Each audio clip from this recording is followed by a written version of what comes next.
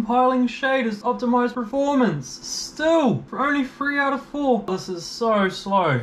Stuff it. Tell you what, sick of online gaming? Just play some NES on your PS3 hen. Can't go wrong. That sounds well and good, but what does it mean? It means that we're gonna jailbreak this PS3. Jailbreaking allows you to install mods, cheats, third-party applications like the PlayStation 3 Homebrew Enabler, or HEN for short, allowing us to run games and backups that don't normally work on a PlayStation 3. And because this is an old model PlayStation, we can go even further and install a custom firmware that includes a Homebrew Enabler and the Cobra toolset, plus more. But keep in mind, jailbreaking a PlayStation 3 is against Sony's terms and conditions. So to go online while the jailbreak is active, we need to run some workarounds to help prevent being permanently banned. Let's get started. I've linked all the needed software in the description below.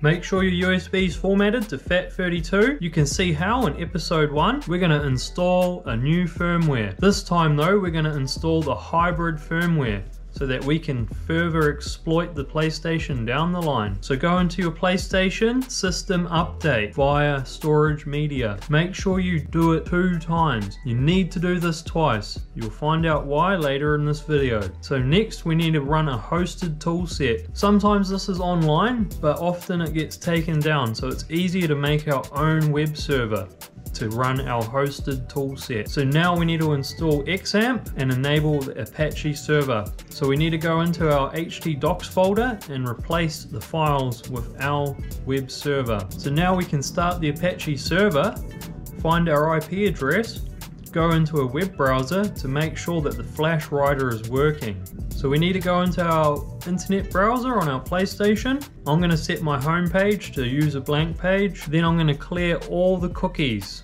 all the cache, and all the authentication information. And then I'm going to browse to my Apache server using the IP address of the computer the server's on. We're going to install our own program into the PlayStation's flash memory. And there's two types. Older consoles like this we need to use NOR. If you have a FAT model ending with A or G, then you need to use NAND. So NOR and NAND are types of logic gates. So it's basically the way the memory is flashed. So N stands for not and and. So not this and not that. And NOR stands for not and or. So not this or not that. So the first thing we're gonna do is run the check. Then we're gonna dump our NOR flash memory. That way we can put it onto a USB and check it. So we use the PS3 checker file file and the drag drop batch file. Then you just need to drag and drop your flash.dump bin file over onto the batch file. Make sure there's no dangers. Scroll all the way to the top and the ROS 0 and 1 are matching. So this is why you needed to install the hybrid firmware two times. If these aren't matching, then you need to go back and reinstall again. Now we can patch our NOR and finally, we can restart and install our custom firmware, our CFW PS3 ROM. And now we're into our custom firmware. Look at this, it's beautiful. We have Cobra tool sets, we can adjust the fan speeds, we can play with the lights, we can play with the beeping, we can do a lot more than we could before. And the best part, we can install custom software packages. This just in. Today, White Hat community hackers have released retro consoles from restrictions to root directory write access, making hardware owners the super user administrators. This makes the console capable of running custom modified software and much much more. Let's start with Multiman. Make sure you drag and drop your Multiman copy onto your FAT32 USB drive. Go into the game, go into your package manager, go into install package files and standard install and run Multiman. And now we have the Multiman cross media bar. Multiman's great, we can use this to back up our games and insert them like they were the CD. So if you insert a PlayStation 3 game and press triangle, you can have the copy option. And remove the disc and play the game. Oh yeah! Just be wary, don't do that online. Only play offline games. I'll show you later how you can get online. See if we can do the same thing with a PlayStation 2 game. Triangle to get the options, create an ISO.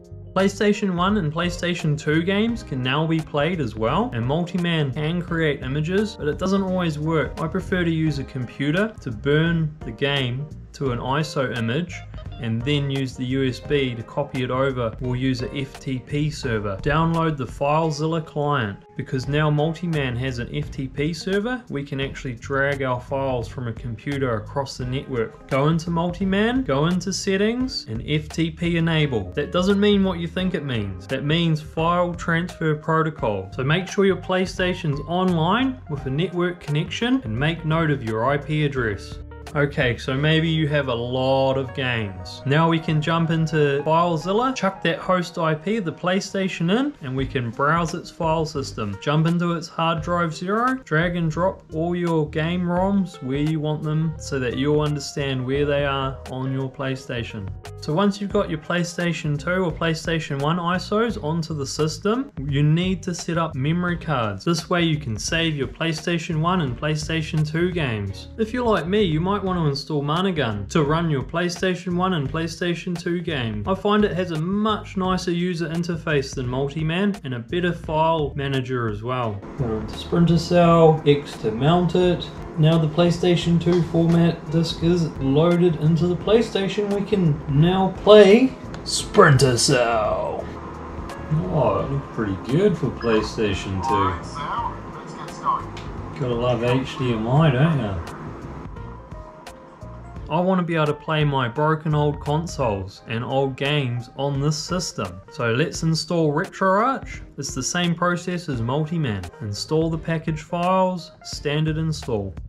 Now that we have RetroArch, you need to make copies of your games or get copies of your games from a ROM archive. And then once they're on the hard drive of the PlayStation, we can go into RetroArch, load in the core, Quick NES, that's what we want. Okay, so now we load content, go to our hard drive, go to NES, Super Mario Bros. And we've got Quick NES loaded. Oh, look at this! Oh, it looks so good in HD! Wow! Oh, exciting. Wonder what the buttons are. So once we're in the game, if you need to get to your menu, all you need to do is turn your sticks in and give them a click. Okay, let's talk about online gaming. If you want to play online and not get banned, don't run any homebrews. Use the game disk. Do it the old school way. And we're going to want to install the Webman package. And we're going to start the games from Webman, off the actual CD. So now we need to delete our syscalls and history. We do this by pulling R2 and pressing triangle. History files deleted and if you want to re-enable syscalls, you just reboot. That simple. And now we can log into the PSN network.